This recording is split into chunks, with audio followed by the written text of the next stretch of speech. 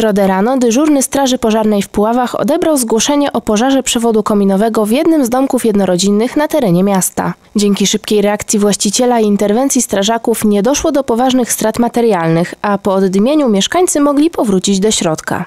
Na ulicy Skowieszyńskiej doszło do pożaru budynku mieszkalnym jednorodzinnym. Po dojeździe na miejsce zdarzenia strażacy zastali pożar sadzy w kominie.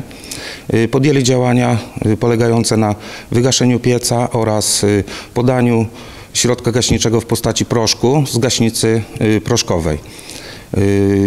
Po ugaszeniu pożaru pouczono właściciela o obowiązku okresowego dokonywania przeglądów przewodów kominowych. W przypadku pożaru sadzy w kominie może dojść do rozszczelnienia komina i y, pożaru y, części mieszkalnej, y, czyli dachu, więźby dachowej i pozostałej części budynku. Zaniedbane przewody kominowe prowadzą do różnych tragedii, prawda? Pożar budynku może też doprowadzić do wypadków śmiertelnych właścicieli w przypadku, kiedy pożar zostanie właściciela w porze nocnej. Przepisy prawne nakładają na właścicieli obowiązek okresowego dokonywania przeglądów przewodów kominowych oraz czyszczenia tych przewodów. Najczęściej y, przewody kominowe powinny być czyszczone y, w przypadku, gdy używamy w budynku y, pieców na paliwo stałe, czyli węgiel, drzewo.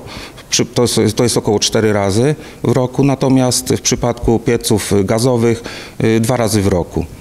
No niestety właściciele y, obiektów budowlanych nie wywiązują się z tych obowiązków, no i dochodzi y, do, do zdarzeń w postaci pożarów y, przy sadzy w kominie, no i budynków mieszkalnych. W zeszłym roku na terenie powiatu puławskiego doszło do około 40 tego typu zdarzeń. W tym roku już za, zaewidencjonowaliśmy 6 zdarzeń związanych z pożarami sadzy w kominie. Regularne czyszczenie przewodów kominowych powinno być tak samo ważnym elementem dbania o bezpieczeństwo mieszkańców, jak sprawdzanie przewodów wentylacyjnych i korzystanie z czujników tlenku węgla.